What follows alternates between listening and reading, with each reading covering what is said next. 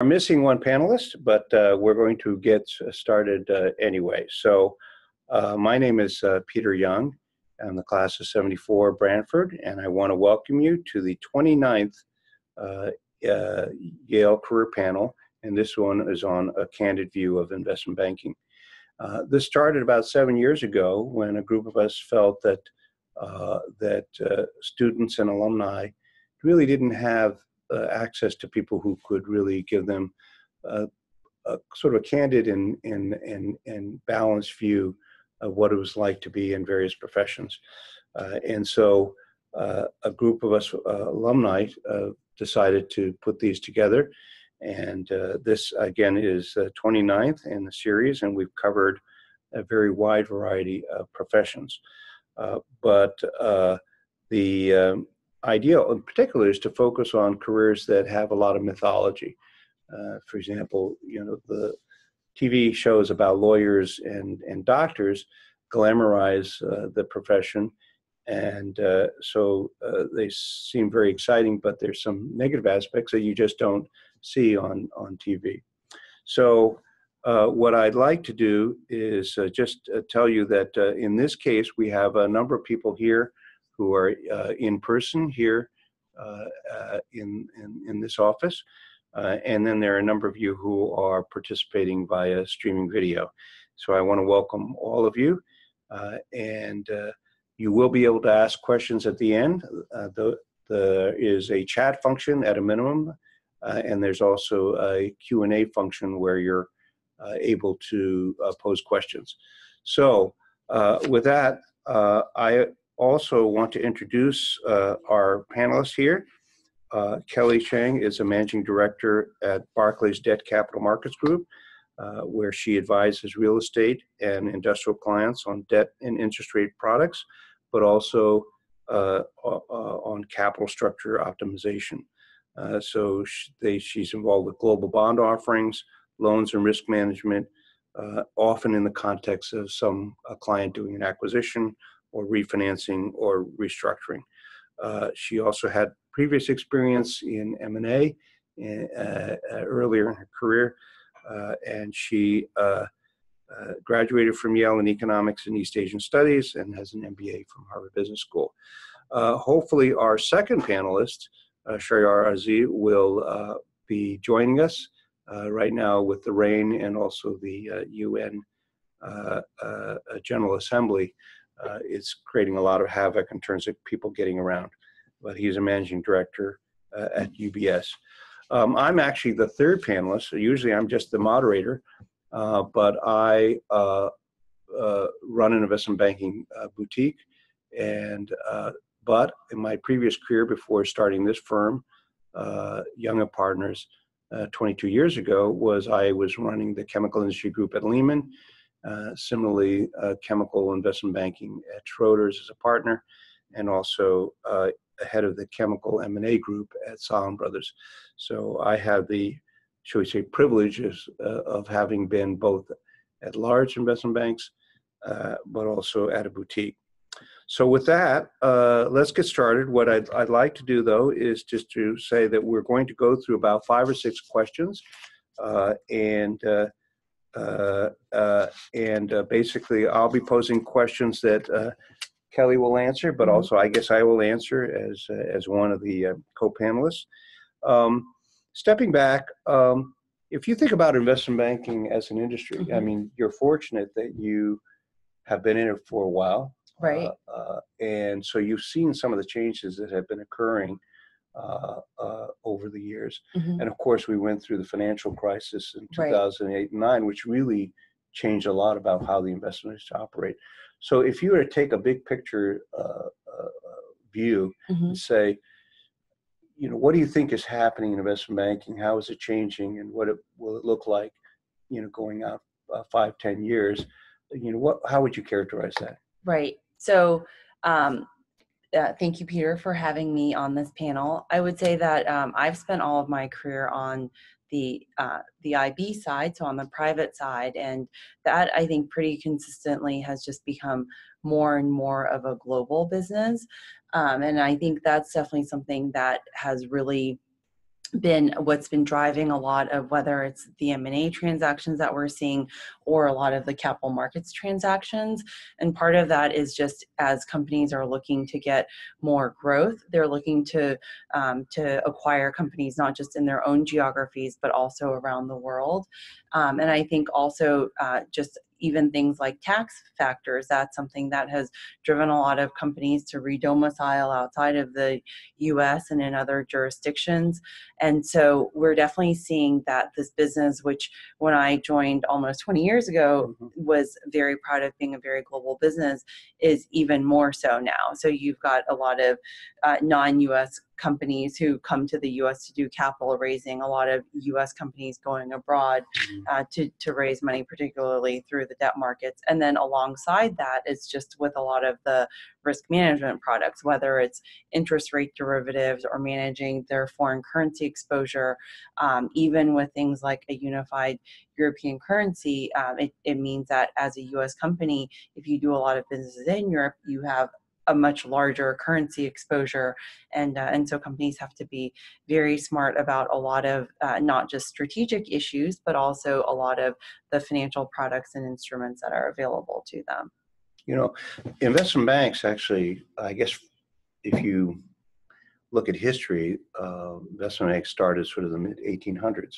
mm-hmm. Uh, first in trading and then eventually into a lot of other products um, and they were small partnerships mm-hmm. really and in fact uh, for i guess the first hundred years or so uh, firms like jp morgan and so forth are relatively small partnerships mm-hmm. and sort of the size issue really escalated in the 50s 60s and 70s mm-hmm. and also the number of different products so forth you know uh, you know do you see that uh, continuing, or do you, you know, getting larger and larger, or do you think that, you know, and I know there's been a lot of publicity about boutiques they're formed mm-hmm. and so forth, but I suspect it depends upon what area of the business you're in, whether it's going right. to go this way or that way, right? Right.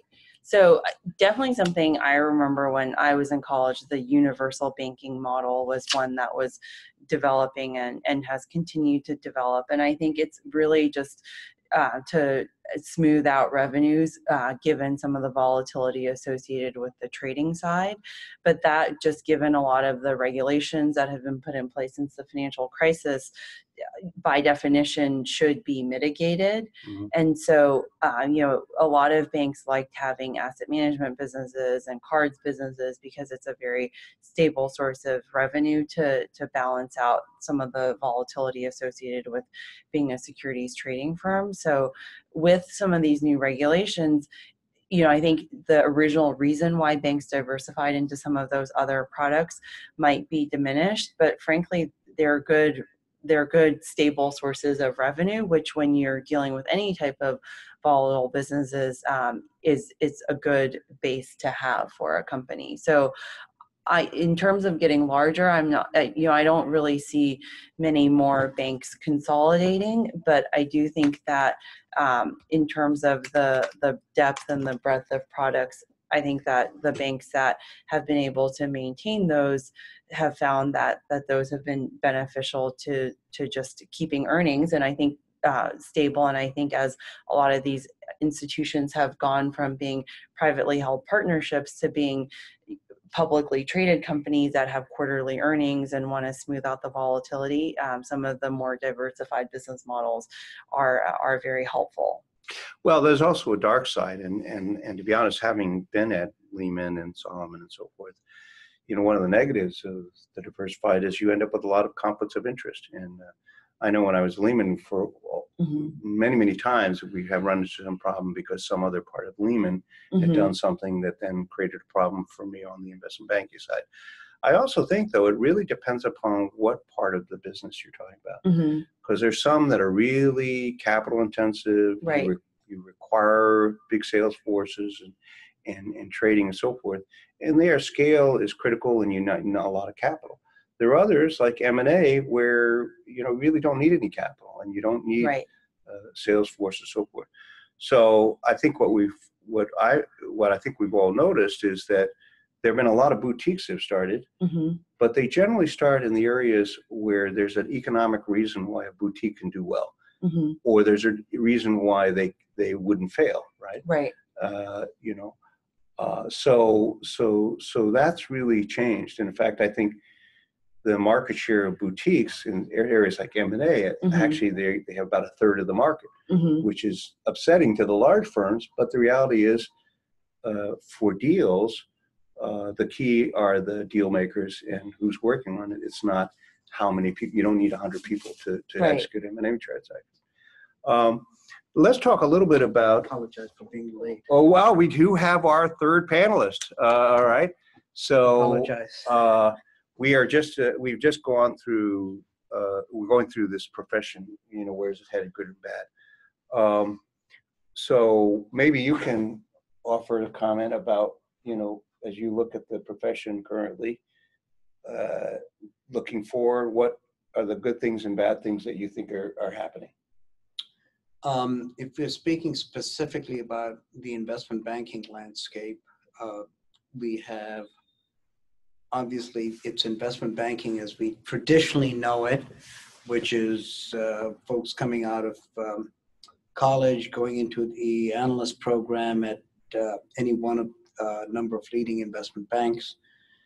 And that aspect of the business as well, it's thriving. It continues to be a daunting and and and sometimes terrifying experience because of the amount of hours that people have to expend uh, being an analyst, whether it's at firm A, B, or C, it sort of doesn't matter.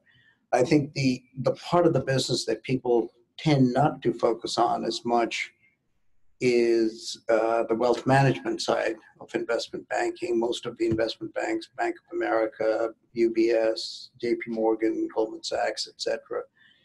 Uh, they have wonderful training programs on the wealth management side, and that business continues to grow. And I think from a lifestyle standpoint, Peter, I think it's probably something worth thinking about in addition to regular way investment banking. Now, I'm going to be a bit of a contrarian with you, and that is uh, because I've been at three large investment banks and I've been running a boutique. And first of all, for those of you in the audience, uh, there are a couple of ways you can work for an investment bank. Mhm. The traditional way, if you're coming out of an undergraduate program, is you join the analyst program, which used to be generally a two-year program, and then some of the people stayed on, and some people went back to business school or changed professions. Uh, there, the other route is there are people who come in from some graduate school, maybe an MBA program, Mhm. and they come in as an associate, and then ho- hopefully uh, continue to do well and stay at the firm. Uh, the one thing that is true that you said is that the analysts and junior people work horrendous hours. Uh, what I disagree with you is that it's necessary, uh, because I think part of it is that the it's sort of like uh, hospitals for residents, right? There's no particular reason why a resident should work 72 hours in a row or 48 Right. hours. In fact, you, you ask yourself, well, why? In fact, it's actually bad for the patient, right? And it's also true that it's not particularly true that uh, uh, analysts should work uh, until two, one or two in the morning. And in fact, uh, having been there and now having here, all our analysts go home at six. They don't work on weekends, and we work on a lot of different projects. So a lot of it is how people choose to manage. The Mhm. negative part, of course, is uh, as many of you know, uh, many analysts they don't stay the two years. They leave after a year and so forth, and they go to private equity or they go to other uh, uh, parts. And it is true that you know things like uh, uh, wealth management, which is done in large firms and in, in, in, in, in smaller firms, have a very different lifestyle. But I think one of the things you have to ask yourself, and this is really a comment to those of you who are the audience, is uh, uh, what you know, what you, why you want to be in investment banking, and are Mhm. you willing to accept what goes with that lifestyle, right? Right. But I wouldn't assume that it's a given that the typical quote equivalent of uh, being a hospital resident is necessarily required everywhere, right? Uh, but also some things like private equity, very different lifestyle, right? Even though fundamentally what an analyst does at at a, at a Blackstone is not necessarily that different Mhm. from an investment bank. Let's talk a little bit about um, uh, myths versus realities. And I think all professions, you know, we've and we've had some wonderful things about architecture, about drama and film, about uh, you know consulting. there are myths and realities. So, what would you list as some of the things you think so are, are myths uh, versus realities, good and bad, right? You know, Right. uh, there, there's some that are on both sides, right? Well, just picking up on the thread we were previously talking about about lifestyle, I think that's definitely something that is a much greater area of emphasis and concern for the the the younger generation than um, than say people when I was graduating from college. And I think what people need to realize is your first job out of school, whether you choose a career like investment banking, professional services, banking, consulting, or anything, it's hard work because it's such a big culture shock from what you're used to from being a student and you need to learn a new craft you make a lot of mistakes. So i think things um, that what you hear about when they say about investment banking you just have to love working hundreds and hundreds of hours. I mean i think you know you don't necessarily have to work those types of hours um, and there are lots of different pockets. Even you know whether it's wealth management or or more of a capital markets facing role but it is a tough slog when you first join because it is very much in my experience has been a lot like um, like you're an apprenticeship model where you really need to learn a craft and learn a trade. And um, you know a lot of people i think think of banking as a two year or maybe even shorter program and go. And um, and one of the things about banking is that it does open a lot of doors for people. And so you do have the opportunity to go to any type of industry afterwards whether it's going deeper into financial services or you know changing careers entirely and going working for a corporation or a startup. Um, but and then sometimes you hear young people say well i've learned everything i've needed to learn. And i just think well that's definitely a myth because in three years it's very difficult to learn any part of a craft or a trade and i would say that one of um, the i was an analyst before i went to business school and a lot of people were and most people after graduating from business school chose different professions and i actually think that the one of the the the greatest things that i found about the career is that it's become more and more interesting each year that i work there because you're your roles and your responsibilities change over time but it's because it is like an apprenticeship it's a very gradual change so when you arrive at the next level you're fully equipped to do so. So i would say a myth is like you're just swimming with the sharks and you're on your own. I think banking has um, a very strong mentorship culture and i say it's definitely something that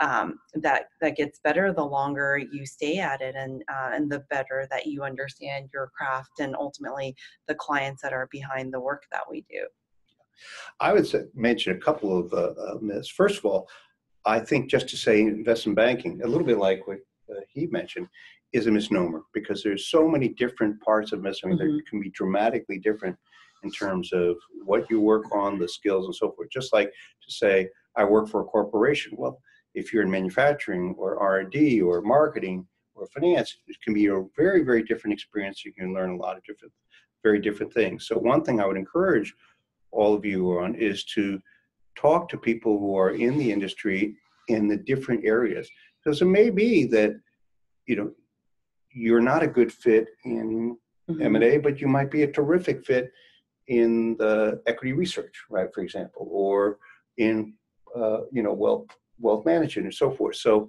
don't think of it as just one big profession. It's actually there's some parts that are as different from each other Mhm. as you know you know being entrepreneur versus you know being being in a large company. Uh, the other is don't accept that uh, the natural thing is two years and you go to business school. The reality is uh, there are many people i know who uh, who started as analysts rose all the way up to the managing director one of our senior people here was head of chemicals at morgan stanley he never went to business school he Mhm. started as an analyst and went all the way up and became not only managing director but uh, but head of chemicals for Morgan Stanley. So I wouldn't just assume that that's the case. In fact, you know, there are many many examples of people who just joined and stayed for a long time. I think the other thing to remember as you go through just within the confines of investment banking is the culture of the organization that you are joining. Um, without naming names, there are those there are certain firms that are known for having a very demanding culture. Um, and and the culture, I mean, it's it it sounds like a terrific thing to talk about. Hey, it's all about the people. It's all about the culture. In fact, it is. Um, I can name names of firms that, because of the culture, because of the heritage, and because of the leadership of the organization, the uh, the culture is one of 24 7 and if you are not in the flow with that culture with the with sort of with the program you're going to be left behind and any one of you who's you know obviously are great achievers you, you don't want to be left behind so you want to make sure that you are in an organization which is relatively speaking conducive to the way you think um, you want to conduct your professional life. And um, now, of course, a lot of institutions, a lot of banks have come up with this hey, Saturdays, uh, nobody can reach you on the telephone. You gotta- yeah, you can you can turn off your cell phones, etc., etc. Well, that's a myth. Yeah. Because the reality is, if your managing director, your VP, your director wants to get a hold of you, and you are hiding behind this, oh, I can't turn on my cell phone because that's what the policy of the XYZ firm is. I mean, you are going to be left behind, and nobody's going to write you an email saying you've been a bad boy or girl, but that is going to affect your life. So, I think people going into investment banking, though it's still got a lot of razzle dazzle, it's got a lot of attractive features, you get paid well. Um, but people need to get into this with their eyes wide open because out there, there's a lot of interesting things people can do. And none of us in this room are trying to advocate that investment banking is the right answer. It's got to be the right answer for you fortunately you are at an institution where you can get a lot of intelligence both in terms of the the overall scope the limitation the magnitude of the task ahead in investment banking and you can explore the cultural differences between various organizations that you may be talking to Yeah, and I would, I would, I would uh, uh, emphasize what uh, Sharyar said. And part of it also, I would say, I usually start out uh, these sessions with the following comment, but I'll make it now, is the one thing that the three of us cannot answer is, uh, is, is your ability to know yourself. And everyone is different. And I think self-assessment and getting some friends who are willing to be honest about what are you good at? What are you not good at? What kind of personality you have and so forth is so critical because uh, uh, each person may be different in terms of whether they will fit a particular profession or a particular firm. But the other is really what he said is there's some really different personalities among firms. And you may be a beautiful fit with one firm and a horrible fit with another. I had the privilege of working for three ma- major firms uh, uh, in, in my career Salomon Brothers, Schroders, and Lehman. Three radically different personalities. I mean, at Salomon Brothers, it was a trading mentality. If, if someone didn't like you, they never hit it. They would start screaming at you and yelling at you from about 50 feet away, right? Totally transparent, but if you were one of these genteel types, it was a horrible experience. At Schroders, it was quite the opposite. Everyone was very polite. They wrote long memos. It was sort of the British colony kind of approach.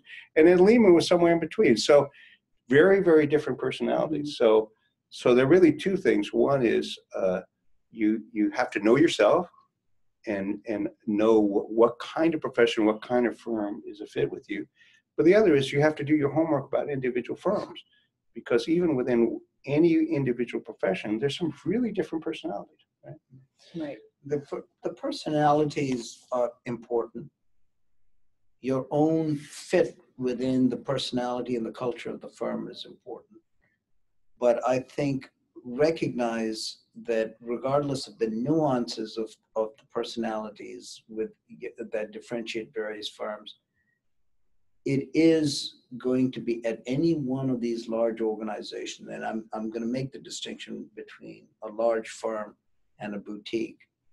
But at any one of these large firms, because it's not just kids from Yale, but they are kids from all over the place because you know they throw extremely wide net in terms of who they hire and what the firms that they, the, sorry, the uh, schools that they hire from. You will find people in your peer group who are going to be working 24 7. So there's also a culture of how do you fit in and you've got to really understand that going in in terms of not just what the overall culture is but also understanding you know what does your peer group look like? And it's not you know it's not the genteel thing you know you got people from all over the place and some of them are you know may potentially be hungrier than you. So again it comes to what is your mindset? How is it that it, you fit in with the culture and what does your peer group potentially look like? I'm going to turn to the next question. So, Mhm. Kelly, uh, you've you know uh, uh, you've been in banking uh, for a while, and you've probably you've seen a lot of people who've done well. You've seen Mhm. people who were happy. You've seen people who haven't done well. You probably also had people who've done well that are unhappy, right? Right. So, if you think about it, is there any pattern that you see in terms of the people who uh, either, you know, one did well in the areas that you're in, Mhm. uh, or were happy, or the pe- and the people who weren't happy and people who ended up deciding to leave? Is there any pattern, or maybe no pattern? I don't know. Well, I think um, mentorship is really important. And I think that, and not necessarily the formal mentorship programs, but along the arc of your career. And um, there are going to be people along the way, whether it's you're a junior analyst and uh, you know helping you find your way through the weeds and making yourself realize okay i can handle this for another couple of years or just as you get more senior and the stakes become um, higher you know getting promoted to you know across the the firm. But i think that that's something that that is very important especially at these larger organizations because it's you know it's it's it's hard to find your way sometimes and and you know it's just um, it's helpful to have the wisdom of of people who've gone before you. So it's not to say that a mentor needs to be someone who's super super senior in the organization but even someone who's just like you know when you're a sophomore knowing someone who who is a junior just someone who can just help you find your way through the weeds. And and it doesn't matter whether you're an analyst trying to make it from your first six months of your career to the first year of your career or trying to make managing director i mean the grass is always tall in in the the, the place where you're standing and it's helpful to have someone. So um, so you know i think and how do you cultivate good mentors? I think having a good attitude. I mean people tend to like people who are are interested in in their profession. Um, and i think it's hard to to keep faking it forever. So um, and sometimes you know it's like even at this point i don't know what i want to do for the rest of my life but but i think the blessing that we have from having gone to yale is everyone has broad and diverse interests and and and a lot of things that we do we do find very interesting. Um, and that's a way that you can engage other people on your team and banking is it's a very team based culture you know people work a lot together so you have a lot of opportunities to work with different types of people and and i would say with things like culture it's hard to say an entire firm has a culture because they're definitely just it might even be just one team within the group that you just happen to click really well with and and it's and it's a group of people that you stay with throughout your career Any comment? No, I think I think that's very fair. Um, but but I think while different groups or different sets of groups would have different cultures, and I say that with a lowercase c in terms of how they operate, uh, the overall reputation of some of these firms is something that you do need to focus on because it permeates through the organization. And one can be, one group may be a little bit more generous in terms of how they treat their associates and analysts, but it, there is an overarching culture that one needs to be aware of. The other thing that is worth focusing on is, again, I'm, I'm, I'm repeating myself, is this the right thing for you? You know, your roommate Johnny may be the right fit to go into investment bank, or you or Jane may be the right person to go into investment bank because they have, you know, have it pretty much set in their minds that at age 27 they want to go to business school and then they want to be in private equity. That may or may not necessarily be what uh, what you want to do. So keep your eyes open. I think the the kinds of opportunities that are now available to folks coming out of college. Uh, and I'm not trying to steer people away from investment banking, but some of the opportunities that are out there, whether it's with startups or with you know other parts of finance and in the corporate world, are much more extensive and ex- and expansive than certainly when Peter and I were coming out of college. Yeah, on the other hand, I also want, I actually am agreeing uh, with what he said in the sense that don't do just what your best friend or, or, or someone does because you, you may be very different. The other the comment I would make is beware of fads.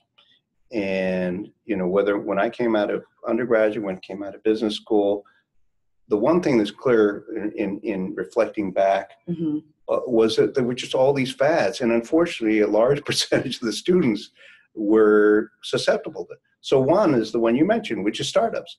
I mean, the number of Yale students who are going to startups is it's it's a big number, and I, I've tracked the numbers so we figure out which panels to do. We track the Right. numbers of which where the graduates are. I'm glad we're still on the list of industries to have no, a but panel. you know, it, it is true that there are opportunities in startups, and there's some Mhm. interesting aspects of being in startups that you are just very different and and appealing.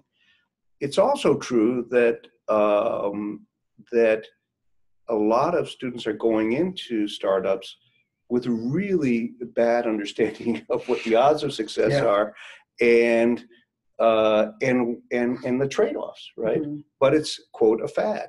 So I would say make sure that you uh, ask yourself uh, the ones that everyone says, well, this is what is exciting to do. That you really take a look and see whether that's really true or not. But the other is you might want to look at the ones that are out of fashion, right? Mhm. Now some are out of fashion for a good reason, and they're really their professions in turmoil, right? Right. But others get out, they go in and out of fashion. So I'm not saying that you should go to investment bank because it's not quote in fashion, but but for sure you shouldn't uh, discard it because people say it's not fashionable, right? In the same way that you shouldn't go into startups and a couple of other uh, things uh, uh, because uh, everyone thinks it's fashionable Mhm. right? It, it, it, there's a lot about it that isn't, you know, isn't isn't necessarily positive. So the next thing is, I think uh, uh, if you uh, uh, thought about uh, what's happened to people now, the three of us Mhm. went to investment banking early, right? Have- Was your entire career investment banking? Yeah. Okay, so you went to the dark side early, right? Yeah. And you you've been investment banking. Right. Mine's different in that I started out in strategy consulting at Bain and Company, uh, and then went into private equity, and then went to investment banking laterally. So there's a little bit different. But all of us have been investing for a while. Right. So what do you do though if you leave investment banking? What are the options? It, you know, I think not everyone you know retires with a gold watch and plays Mhm. golf or whatever it may be. So what are the kinds of things that people do that not us because we haven't Right. retired yet uh, that people do that you know that are logical things that you can do once you're in investment banking. Well, I think that's why investment banking continues to be a really popular industry for people to start in because it is a very, very good training ground and it's a rubber stamp because for better or worse, people think, oh, wow, this person is very tenacious, can is very dedicated, is a really hard worker, and can work well under pressure. And that's applicable and attractive to employers of, of any discipline.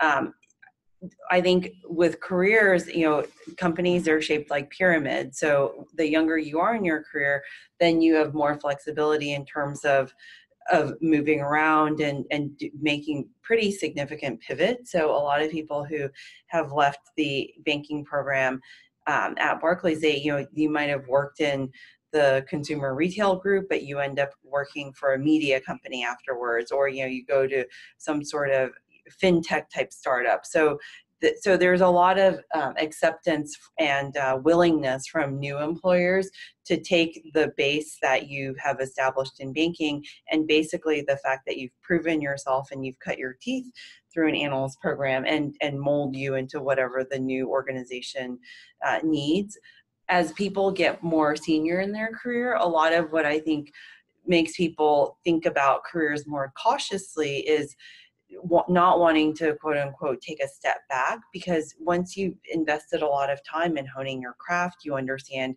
how the organization works. Um, you know, it can be very daunting to think about. Well, you know, do I really want to just start from scratch all over again and and improve myself? But um, so what we typically see in when people leave um, the uh, financial services industry is a lot of people they go to an adjacent industry. So they go to clients? there- a lot of people go Hired to clients, clients, as well. right? So because in the end we are a client-facing organization, and as a as a banker, your goal is to be a company's trusted advisor, and oftentimes your client trusts you so much that that they want to hire you so that you can be part of their team permanently. Yeah.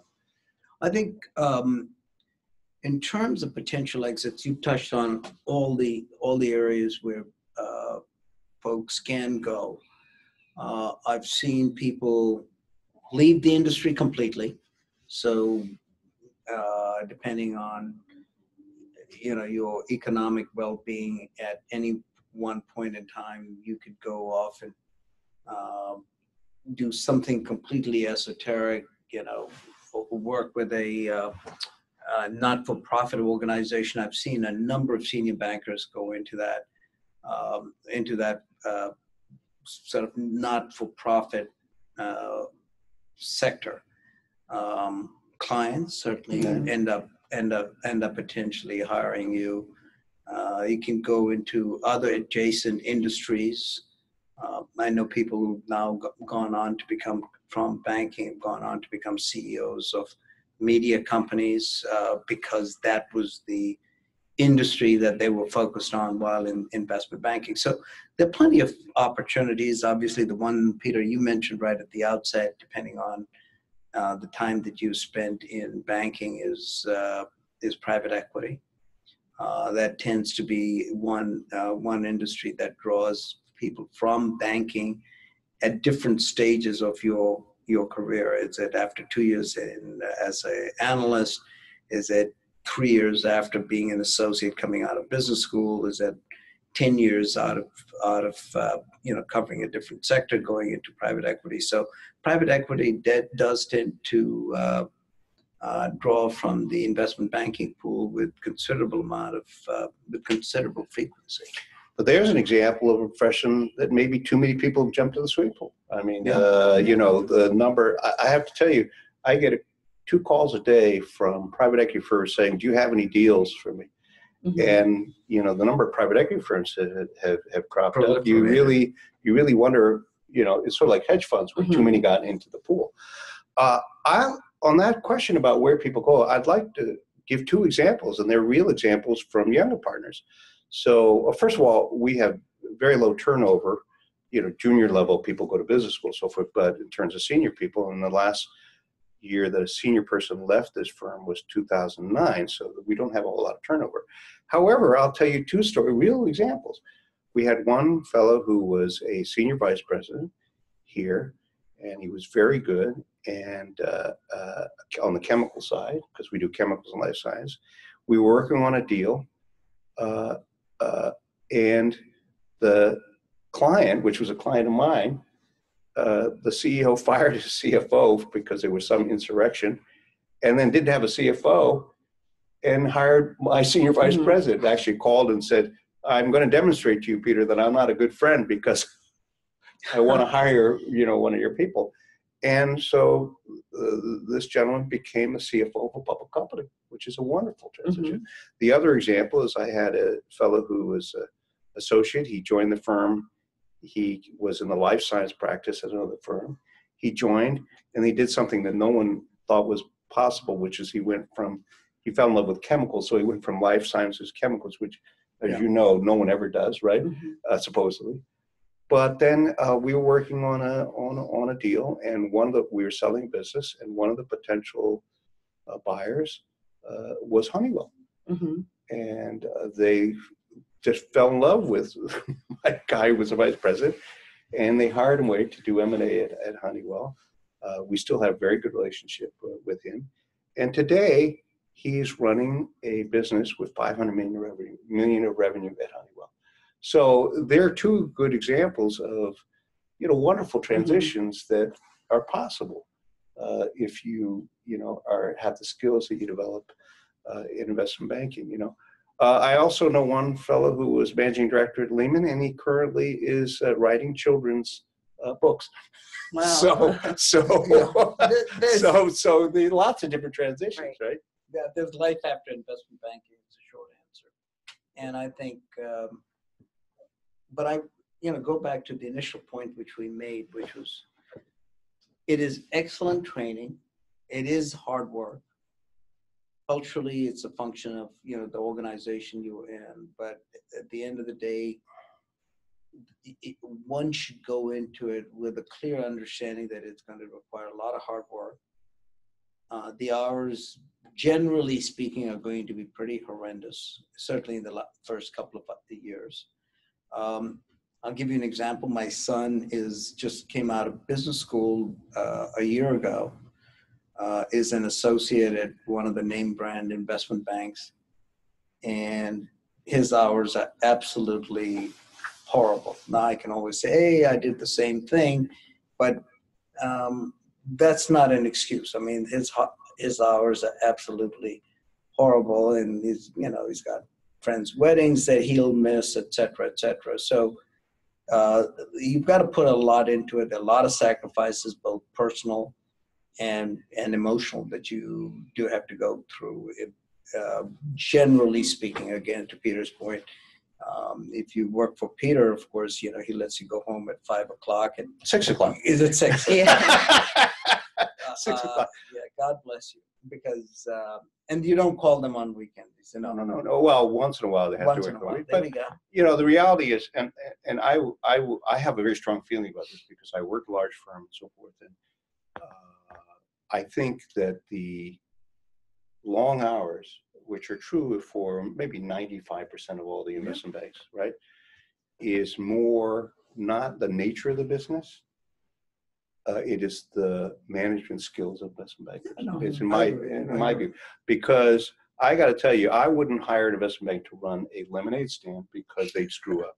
They just don't know how to manage. And I, I'll tell you, I mean, we hired a, a, a, a secondary analyst from uh, Lehman Brothers, and she had spent her entire two years just doing pitch book after pitch book after pitch book. Horrible. Never went to see a client, worked Mhm. late hours, so forth. Just totally mismanaged. But she said, here's the problem. If we were doing a project looking at an LBO for a client, a private equity firm, the managing director here has to think about what are the two or three scenarios that really make sense Mhm. and then tell the analyst at at my old firm Lehman, you know, typically they would the manager would go and say, just do it, do every possible combination, and then I'll look at them, and then they look at 50 combinations, throw 49 out. So a lot of it is a, a derelict Man. management on the part Mhm. of the senior person, but some of it is just the nature of being in a client business, right? Right. where you can't control what a client wants. And if they say at five o'clock, I need something by eight in the morning, you know, uh, uh, that's out of the control of any management Mhm. style, right? So, but if you're going to most investment banks, what he's saying is absolutely correct, which is you have to accept what's going to happen in the first two or three years because that's true for 98, 97% of investment banks, right? You know, uh, now, um, I want to see whether that we have quite a few people on, and I'm going to see if anyone has any questions. There are two ways you can ask a question. One is there is a Q&A function which sometimes works and doesn't work, if you'll see it on your screen. The other is a chat function here, which if you click on chat, you can pose a question, and we can see it on our screen here, and uh, and and one of us will answer. So let me see if anyone has any questions.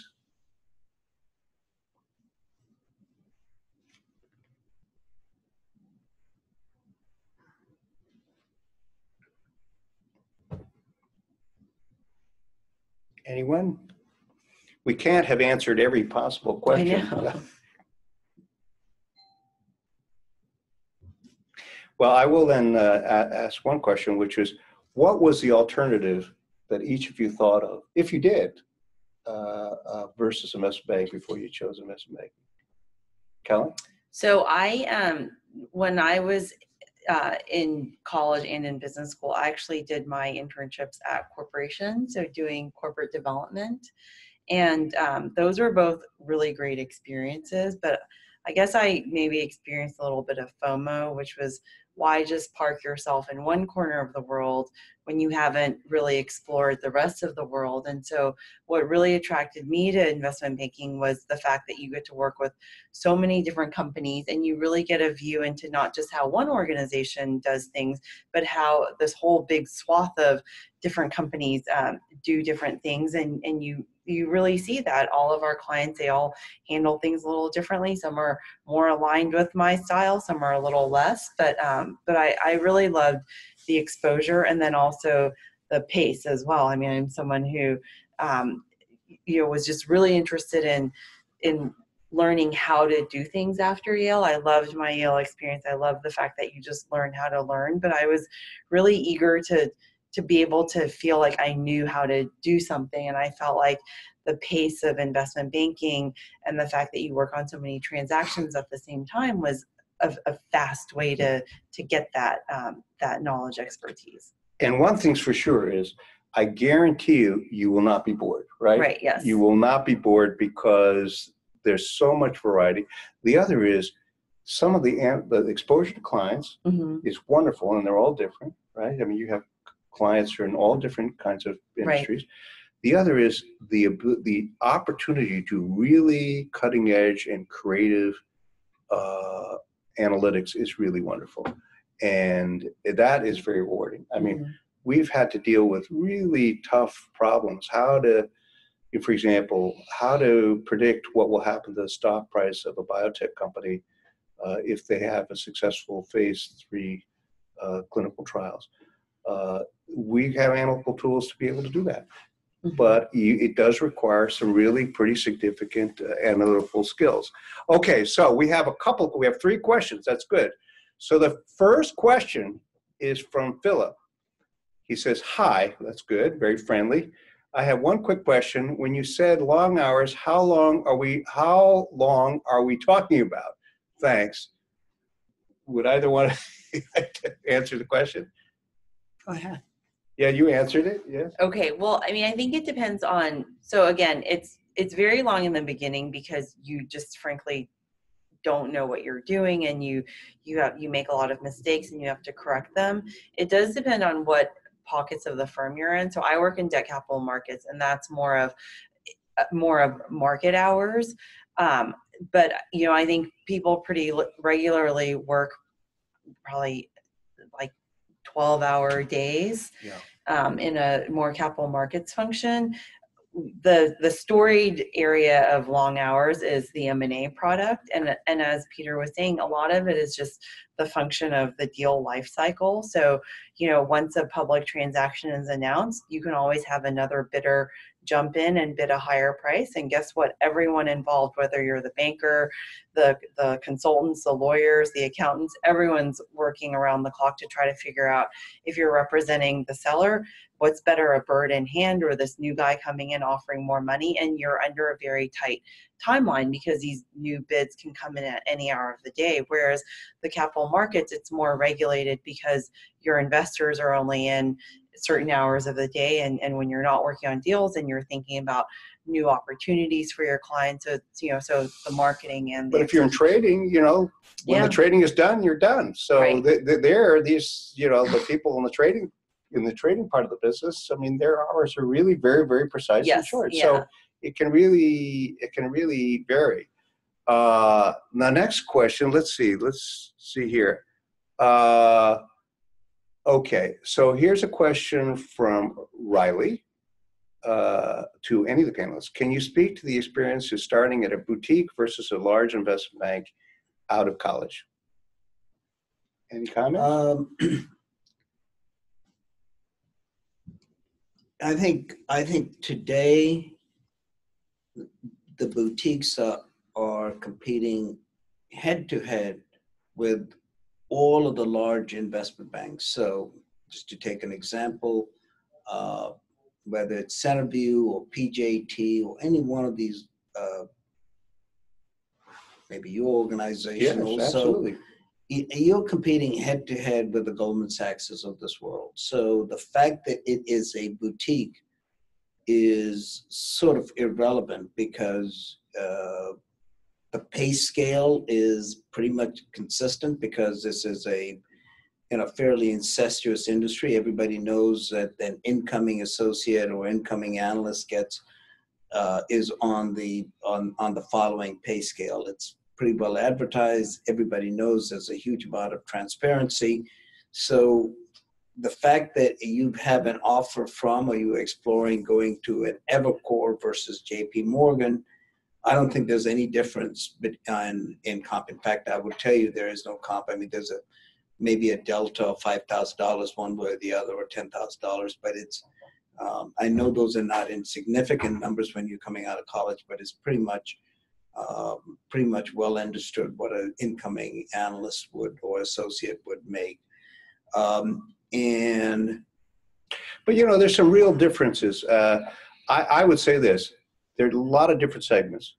So it also depends on what you define as a Mhm. boutique.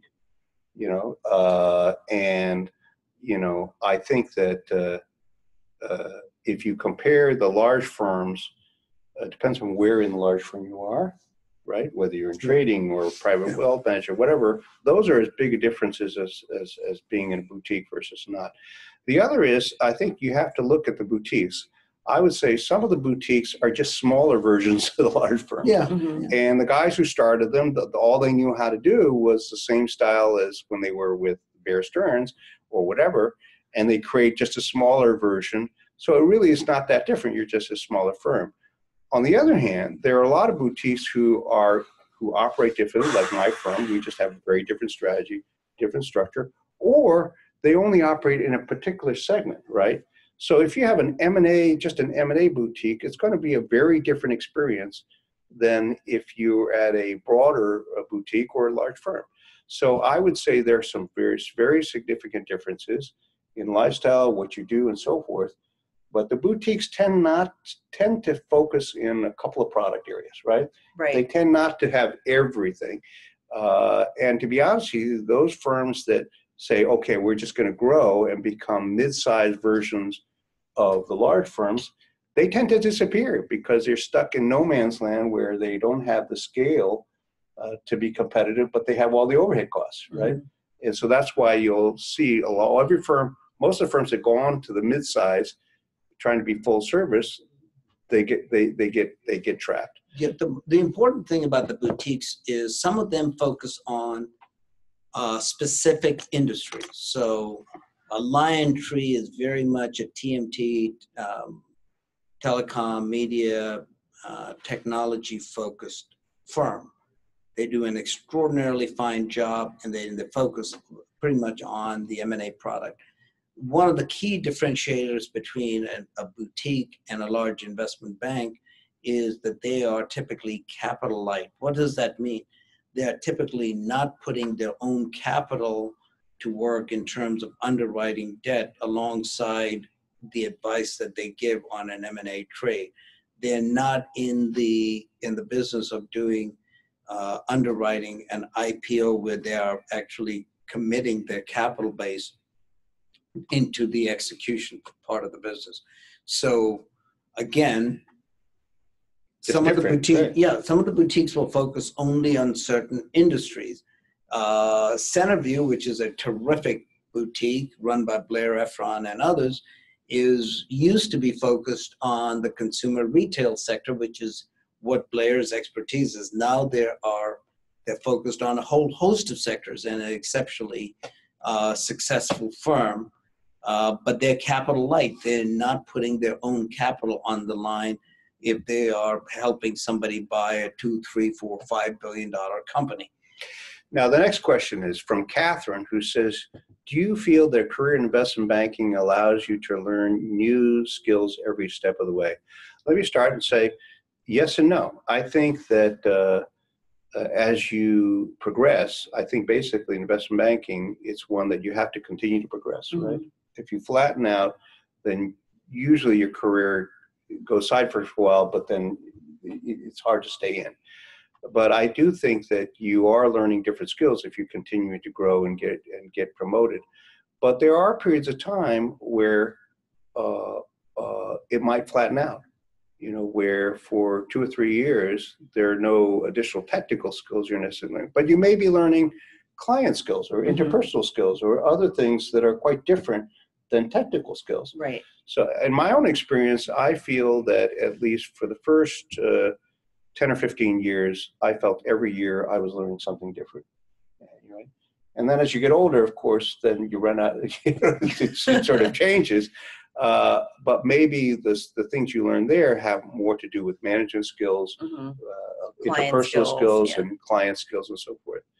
Uh, you, any, you, do you have an answer to that question about uh, growing I agree. I mean, I feel like again, it's like it's like an apprenticeship. I mean, it's just especially the as you're younger, the learning curve it's definitely very steep, and um, and then you know as as you get more senior, then but you're always fine tuning your your your skills, and and in the end, when you become you know a managing director, then you're responsible for a P&L and for growing and cultivating, expanding your client base, and then also industries they they change too. So um, you know, so even if you feel like you're you want to do something a little different, you know, at at Young and Partners, you can go from life sciences to chemicals. If you're in a big firm like a Barclays, you can always go from a coverage group to a capital markets group and vice versa. So the banks definitely are organizations that um, you know once you're in a company it's much easier to get a new job than if you're on the outside doing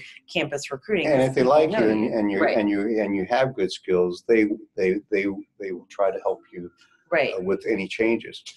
Uh, there's a question here from Al, uh, Olivier. Says, what advice would you give to newcomers with little experience, non-traditional backgrounds, whatever that is, and how are investment banks interested by candidate in by candidates or actually in candidates with graduate studies such as masters or PhDs in scientific fields?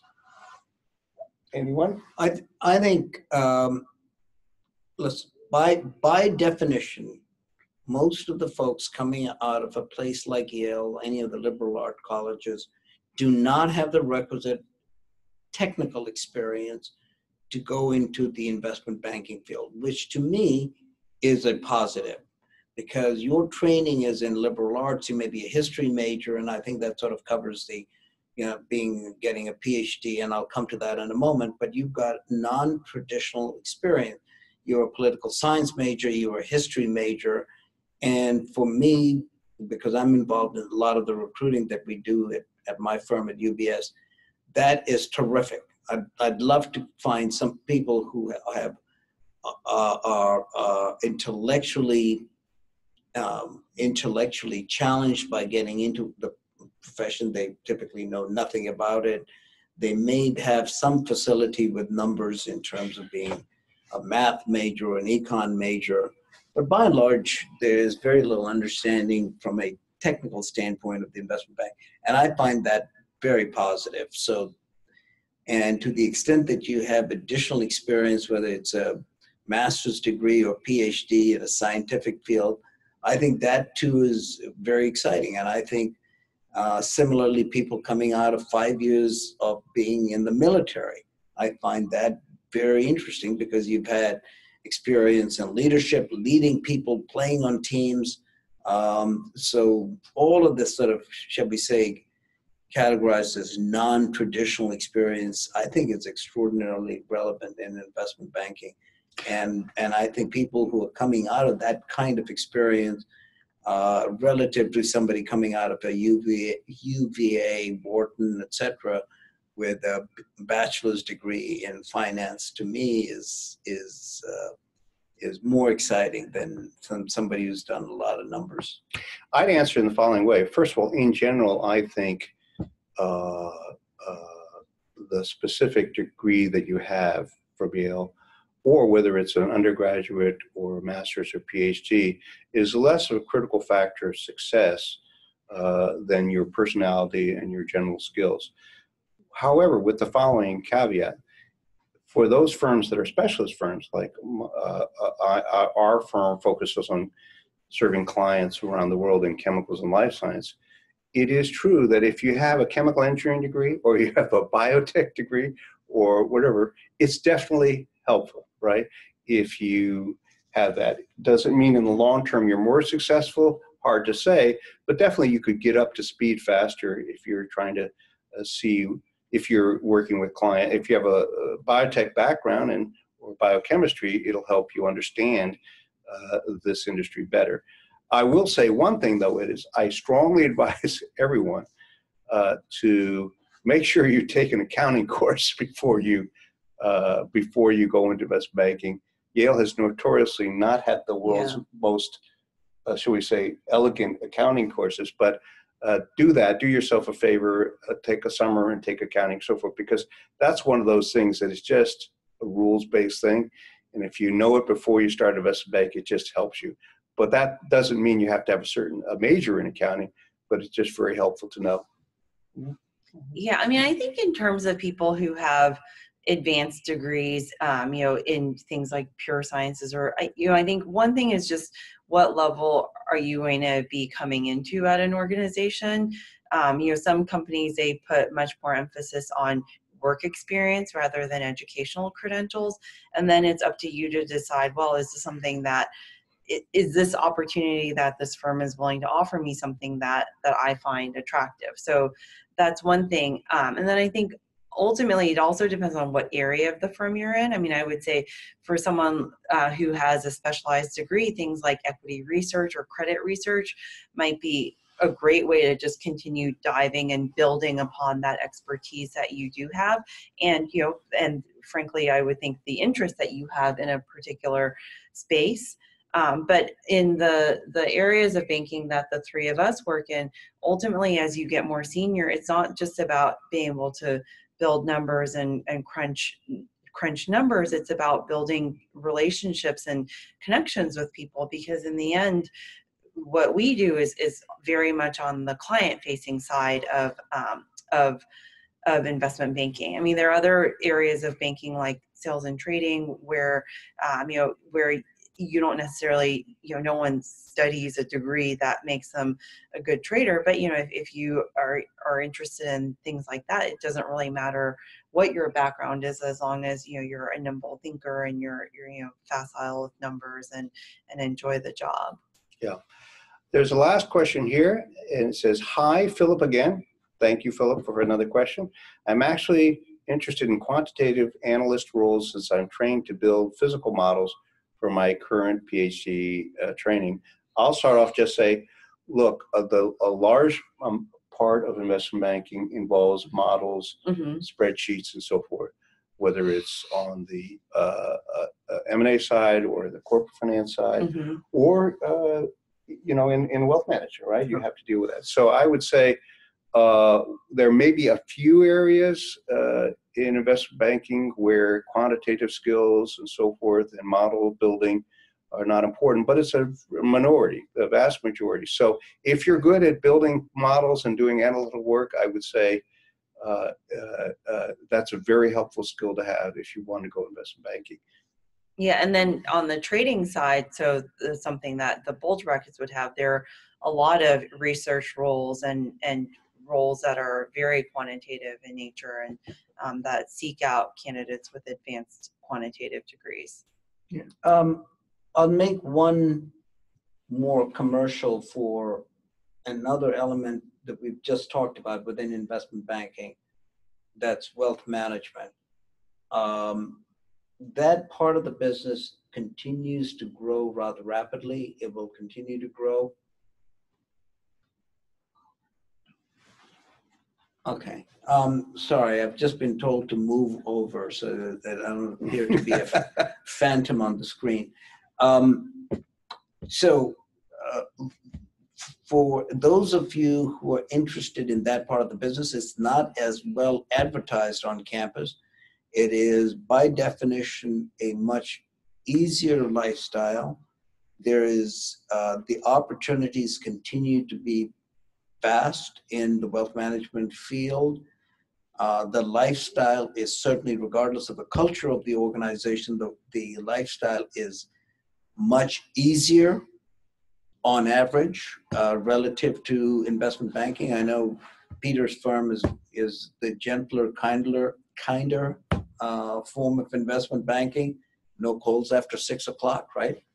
Um, but um, that is certainly something that all of you should should consider as you look at uh, issues relating to lifestyle and what you want out of uh, your career. But to be the contrarian, I will also say that there are some structural things happening in, in fund management and, and wealth Yeah. management that are negative. and this is public knowledge. Uh, the the fees are under attack, right? This is public knowledge. If you Google any anything, Yeah, you'll yeah. get. And the other is there's the there's this concern whether AI, artificial intelligence, is going to uh, make it tougher for people who are in the uh, you know in, in the asset management side. Yeah. So no matter but no matter what part of investment bank you talk about, there are pluses and minuses. So there's not a single one where everything is is is a plus. So I'm not saying it's not. It's just every single one has a variety of pluses and minuses. But with that, I want to say we are now uh, uh, five minutes past the, uh, the the the ending time. I want to thank uh, my two co-panelists Thank uh, you for having their us. participation. I hope this has been helpful to you in the audience in terms of helping you uh, with your career decision making. I want to say uh, we have two events uh, that are coming up the, later this fall. One is going to be a Yale career panel uh, on consulting, which I know is of great interest to many uh, of the students and alumni. We also uh, have a separate series, which is Yale Career Issues and Fireside Chats, where we've done serving on boards, managing major career changes, and so forth. And we're going to have a really kind of a fun session uh, later this fall on the uh, the use of social media. You know, how do you uh, get benefits out of it, but how do you make sure it doesn't hurt you? So, and we're going to try a different format where we have a panel, and then we're going to have a cocktail hour and uh, let people get to know each other and uh, and share some beers. So uh, we'll be sending out notices for both of those uh, shortly, and we hope you'll join us for those. Uh, th- this particular panel, as as is true for all panels, uh, is is recorded, and you can watch the recordings of the last 25 uh, Yale Career Panels at YaleCareerPanels.com. And uh, uh, and uh, if you missed, happen to miss one on architecture or whatever, uh, you'll find them there on that website. So thank you again uh, Thank to you. the panelists, and Thank you. we hope this has been helpful to all of you.